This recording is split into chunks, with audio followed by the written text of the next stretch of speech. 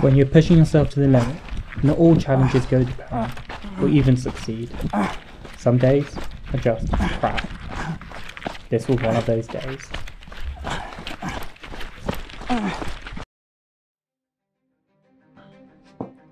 So why? Why would I put myself through countless hours of suffering? Why would I voluntarily destroy my body until my toenails come off? Why would I decide to ride that emotional roller coaster and strip myself raw? Why would I want to run 100 miles?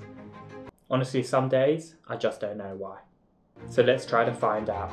So in this video, I'm going to take you on my first attempt, well, third attempt to run 100 miles and try to explain why anybody would want to do this. Who knows what's going to happen? I'm fairly new to this self-indulging, videoing myself kind of thing. But I've been a runner for a few years now, and it's become a large part of who I am and my identity. My background is primarily as a triathlete, and I've had some success with that, and clearly by this picture, also at being a comedian. And recently, I've decided to follow my girlfriend across the globe and move to Australia. So I've tried running 100 miles a couple times before. The first time, I was immature and didn't really know my body. The second time, I got a heat stroke and nearly passed out. So let's see, as the saying goes, can I get third time lucky? Unsurprisingly, running 100 miles is no easy or simple feat. It requires planning, piles of kit, and thousands and thousands of calories worth of food. Precious hard earned money needs to be funneled into enabling this beautiful form of torture. But trust me, this kit will get you through some tough times. You may form relationships with these items that even your partner may get jealous of. It's easy to think that you'll want to eat all the things that you don't let yourself have out of restraint in day to day life. But trust me, you won't be craving donuts, chocolate, or ice cream deep into a running race. When exhaustion has hit and you feel nauseous and just, well, energy deprived. It's a strange paradox. Sugar isn't as attractive as you may think. Really, all you crave is nutritious, savoury, and melt in the mouth foods. Nothing that requires something as effortful as chewing, especially when you feel like you don't have any energy left. The ability to eat almost becomes more important than running, and it's a mighty challenge in itself. Don't underestimate it. And yeah, there we go, that's what I'm bringing. this is usually up. I can't even wait till race day. Okay, so tomorrow is race day. Um, I wake up at, I think 4 a.m. It's always the worst bit. There's nothing worse than having your alarm go at 4 a.m. Thank God. All I've got to look forward to today is getting to the race and running probably over 24 hours. I just wanted to run through some thoughts, um, some final thoughts before the race. So I think you might see seen the video before this, but two weeks ago I ran the Time 100, so I ran 100 kilometers. Um, bit of a quarter life crisis for my birthday. That was two weeks ago. I tried running last Sunday, but after three kilometers had to stop because I got that same um, the same kind of knee pain on the side of my leg. In retrospect, I think that's actually an IT band issue. So what I've spent the last week doing is basically just stretching like three or four times a day, icing it 100% focused on recovery. I'm hoping a week of serious stretching is enough to sort out the IT band issue. Otherwise, I've got a very, very long day tomorrow. So that's my main worry. Um, yeah, that is a, that could be a, a massive issue. I think the plan is that even if it does cause me any issues on the day, um, as long as the pain doesn't get worse, I think it should be manageable. And I'm hoping it doesn't. And after like a one minute research, I found one post which said that uh, it won't cause any long term damage. That's good enough for me to, to, to work off. Um, even if I do push through it. But essentially, yeah, the uh, my IT band is running against something on my knee. on every single step, which causes that kind of stiffness and that, that kind of numb pain. Um, if I remember from a physio once, if the pain's not sharp, it's not an issue. So we'll see. But yeah, that is uh, that is definitely my main concern. Um, but I've been training for this for three or four years now. I've already tried twice before and failed. This is my time to get it done. This is my time to finally run 100 miles. I've run, I think, 147 or 42 kilometers before, so it's not that much further, 161. The elevation is very spicy. Honestly, I thought it was a lot flatter when I was booking it, but it, looking at the race pack, it's like 5,000 meters of elevation gain, which it's not massive amounts uh, over 100 miles, but it's you're gonna feel it. Um, so that should be interesting. The main focus now is to keep calm, stay positive, focus on recovery, chill out, get an early night, prep everything you need for tomorrow, and then go to bed. Nothing more. So that's the plan. Oh, and as I've just demonstrated, get the calories in. So, promise this is my last time speaking. I will see you tomorrow morning. See you then.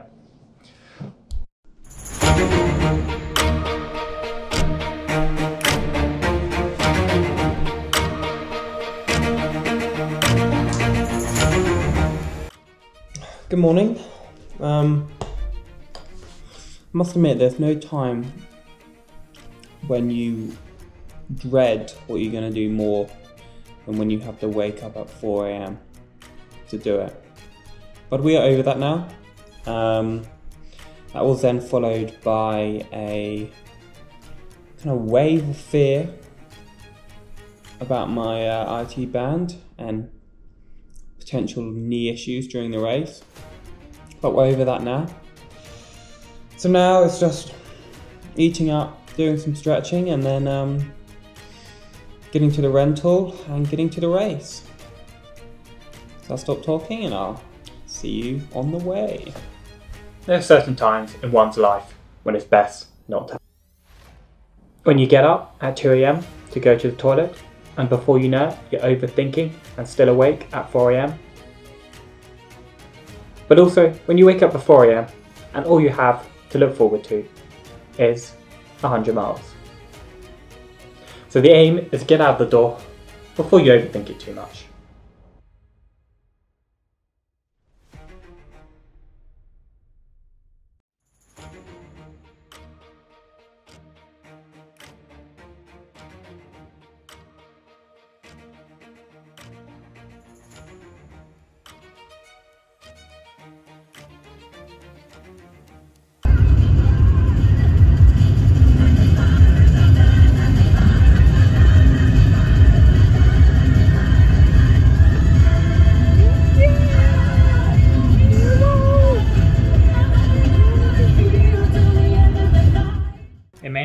Much, but this was going to be my mission center for the rest of this race. Humble, but efficient, not encouraging too much, resting and sitting down. Good morning. So we are, look at that, we are set up. Uh, got another 30 minutes or so till the uh, start of the race. Feeling better, getting warmer now. It is actually a lot colder than I thought it'd be. So I think that's gonna be one of the big struggles during the uh, the long night phase because it gets dark early and gets light pretty late uh, to rise. It's gonna be a long night section. It's gonna be pretty cold. Um, but anyway, get to enjoy the sunrise and then get to going. And there we go. Look at that. Look at the uh, the You Yang Mountains behind me. Yeah, it's uh, views, landscapes, and terrains like this, which is why I run trail races. Beautiful, much better than the road marathon.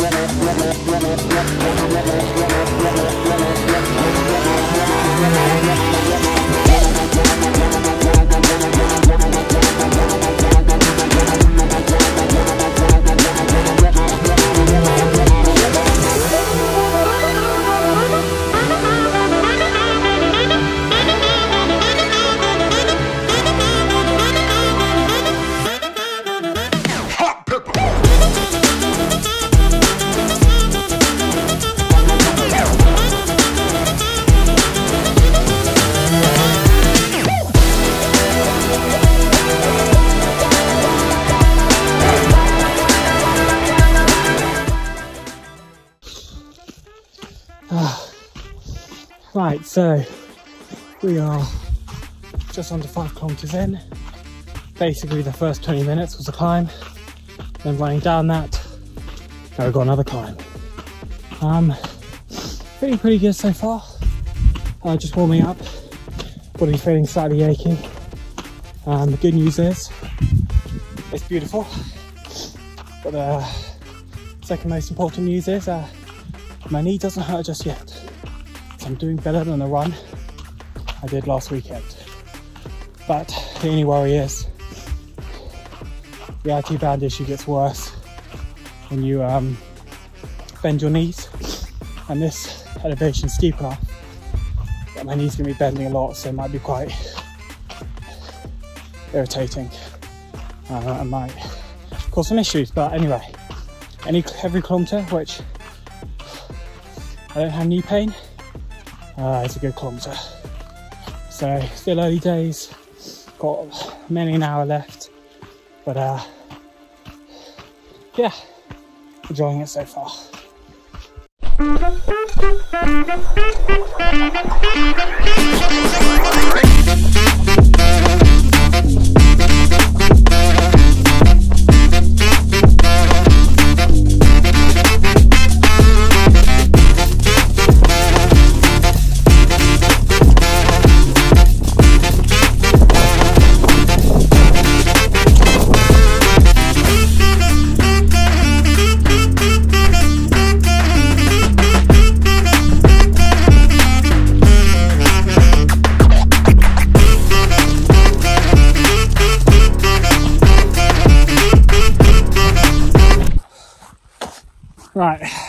Some uh, pretty pretty news. Um, yeah, my left knee deciding to have issues. Um, so we're 10k in and starting to have to walk a little bit. Oh, yeah, it's not ideal, but like I said, if I if I need to walk this thing, I will walk it. Some people might call this pacing. Um, unfortunately, I don't really have a choice in the matter. But uh, yeah, it's mentally exhausting. It really is. Um, something like this, where you got so many kilometers to go, you can't run. It just feels crap, but um, it's important to uh, yeah to keep trying to stay positive and to uh, just enjoy the walking.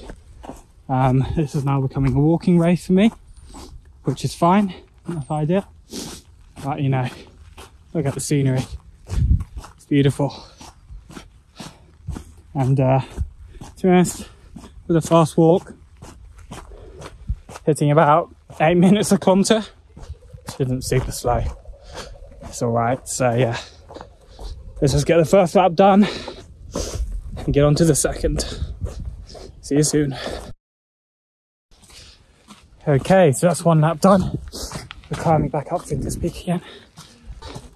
And yeah, things are not too bad. Um, worst comes to worst. I've got four hours each lap, um, and this was under. I believe my strength is making uh, time on the hills, so that's what I'm doing, pushing up as quickly as possible. About the only uh, aerobic workout I'm getting.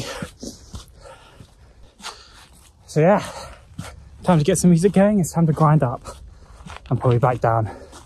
Yeah, I'm not sure how my knee's going to do with that, but uh, Hopefully it's not too painful.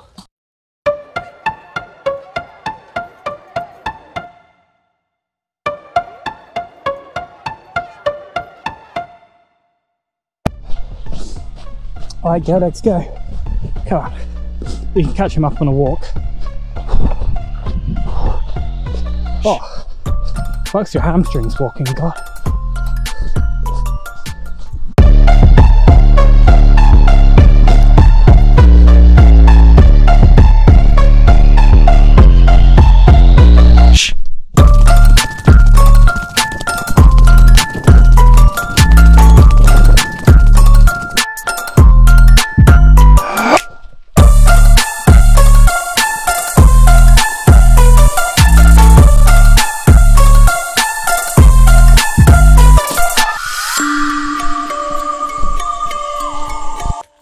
So the uh, good thing about uh, all this walking is it's given me uh, quite a lot of time to think. I'm uh, trying to figure out why I'm, you know, happy to put myself through this.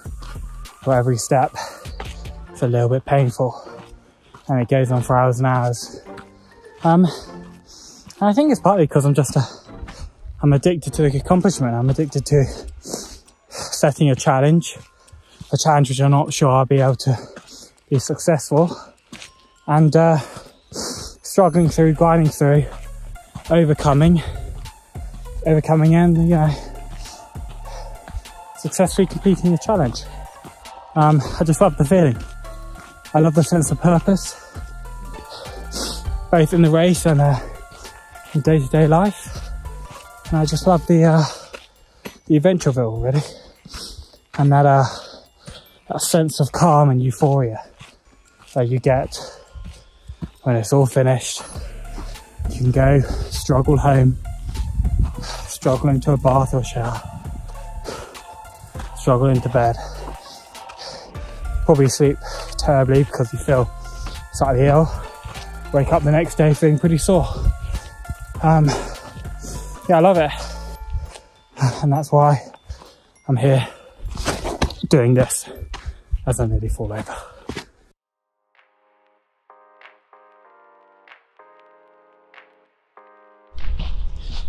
So I've always said that uh, the interesting thing about a ultra race is that you almost live live a week of emotions in one race.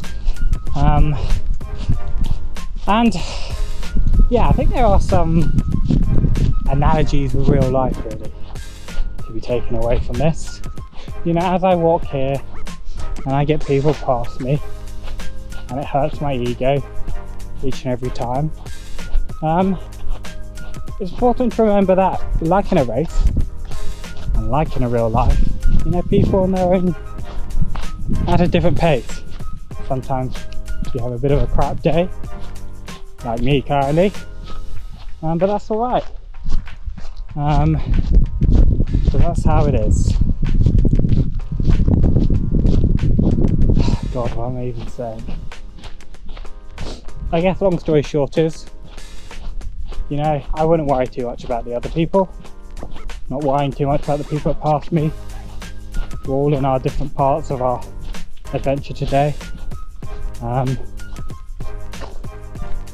and yeah, just focus on your own race, focus on your own goals, and that's all that matters. But I real life. And with that, I'll stop chatting. that's all I've been thinking about for the last hour and a half. Um, but yeah, it's time to drop out. Yeah, I don't think it's a smart idea to carry on. Ah, it's just too painful. Unfortunately, it's not the good type of pain. It's skeletal, tendinal, something or other pain, not muscular pain, which is okay. It's a beautiful sunset, but yeah, my day's ending here. My challenge is ending here. Not much else to say, really.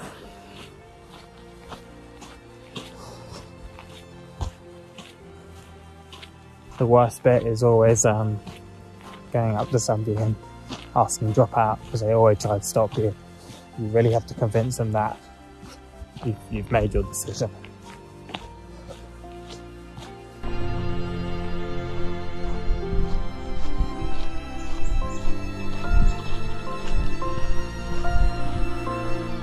Oh wow, look at that. Oh my god, it's a full one. It almost makes. Oh, it's nearly a double rainbow. Beautiful.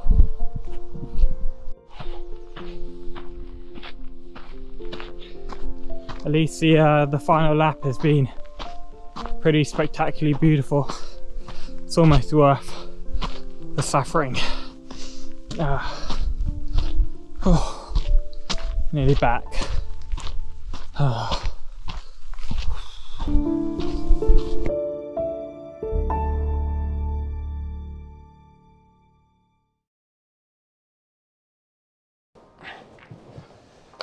Hello there.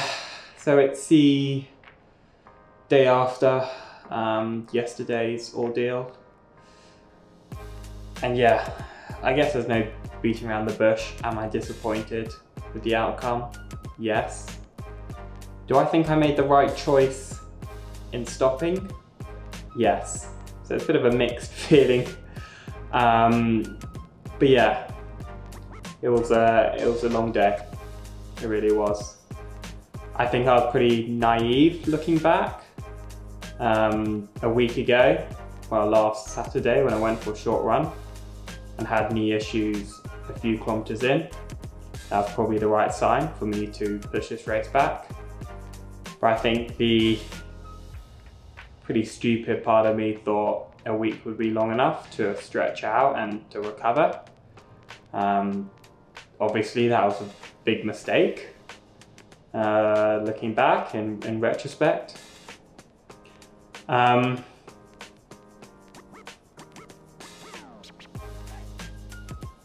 yeah, don't really know what to say. It's uh, some lessons were learned, that's for sure. I now know that uh, it's always best if you have any issues before race, just to push the race back. Part of me, I think, was driven by the fact that I tried to run 100 miles twice before, uh, DNF twice before as well. So part of me was really just wanting to get this done, really. Kind of, uh, yeah, this distance has kind of been my nemesis for a few years now. And it will remain my nemesis going forwards, um, which I guess is fine. Uh, yeah, I think there's clearly some lingering like phys physical issues, I would say. Um, basically since, well, really Christmas when I did that thousand miles in 10 weeks challenge. And ever since then, I've had various physical issues. So I think I'm going to put this race behind me uh, learn a couple lessons. Obviously, the first one is if you're injured going to race, to push the race back. Secondly, is uh, the idea of walking 100 miles. It may sound easy. Well, it doesn't sound easy, but if you're if you think running 100 miles is hard, you think walking 100 miles might be easier. Um, but no, it uses a totally different set of muscles, um, and I found that when, yeah, during the race yesterday, obviously I was kind of praying I wouldn't have any issues, and I did. Um, it basically just got really, really tight, and as the race progressed, it just felt weaker and weaker. Um, and I started to have kind of like thoughts or feelings that I might step, might take a step, um, and yeah, might be my last. My knee might twist badly, and I'll just be stuck on the side of a mountain. Um, I think also the terrain of the race made it very difficult. if you had knee issues because not only was the terrain quite rocky, um, there was a lot of steep climbing and a lot of steps, especially getting up Flinders Peak at the first bit. Um, so that's kind of what I feared most. Um, and obviously my body was trying to counteract that and as I was walking, I then progressively got worse and worse shin pain. Um, can't really say it. Shin pain around here, um, which just stiffened, stiffened. Today I can't actually move it really. Um, and yeah, that was just getting worse and that's what I kind of feared the most is that would do some long-term damage, whatever that may be. Um, I need to figure out exactly what the issue is, but my plan going forwards is to basically just reset. I want to get back and I want to start from a, a physically healthy position. So I probably will spend the next month, probably won't do any running. Um, I will focus on stretching and strength and I might try some calisthenics and maybe do some swimming. But I'm going to stay away from the running. Maybe I'll do some walking actually. I'll stay away from the running for a month or so and then I want to very, very slowly, gradually build up. What I haven't had for a while um, in Australia, really, really since I moved, is a stable foundational running. I used to run pretty consistently 80 kilometers a week or so, 100 kilometers a week. I haven't done that for a while, and I think that my body is is uh, it just needs that really to do this long distance stuff. I think the issue with doing more races is that you spend a week or two leading up to it and a week or two leading up uh, recovering from it. So you never really have the opportunity to um, really just set a baseline, really just run outside of races. So that's what I want to work on as well and very gradually start building up my baseline up. And really just enjoy running around, um, enjoy running around Melbourne and Australia. Um, yeah, that is the uh, that is the plan. Today, it's a little bit difficult, pretty bored, but uh, yeah, I can't really go anywhere at the moment, so I'm just gonna chill here.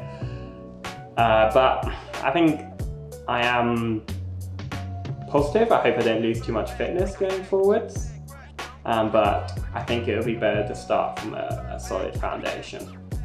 I don't have a race for a few months now, so it gives me some time. It's winter as well here, so I don't feel like I need to be racing loads. Um, yeah, time for a reset. And with that, thank you for watching and see you next time. Hopefully the next video is slightly more successful. Bye now.